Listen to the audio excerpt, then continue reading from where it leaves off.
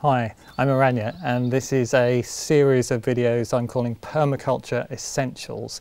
I'm going to start with why do we need permaculture? Hopefully that's already obvious to you and perhaps it's why you're here. Um, our modern support systems, supply lines that deliver our food and energy and water and so on have become increasingly complex and primarily driven by fossil fuels and so this has made us actually increasingly vulnerable. Permaculture emerged in the 1970s in response to the oil crisis at the time and the effect it was happening, having on everything that we do and that we need.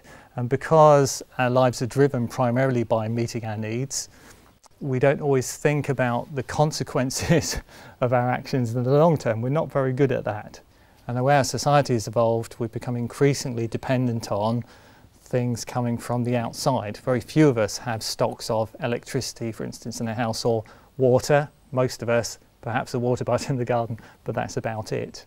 Supermarkets these days operate on a just-in-time system, which means as things go through the checkout, they're automatically ordered from the warehouse to be replaced in the store. So supermarkets don't have much storage space anymore, at least not in the store. And that means that when things go wrong, things can run out and most of us don't have food in our gardens anymore.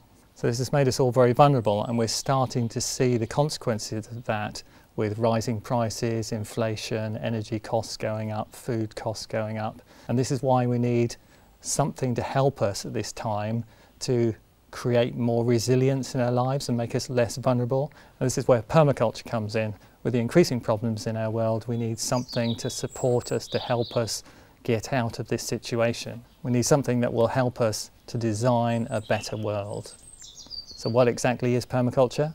Well, that's coming next.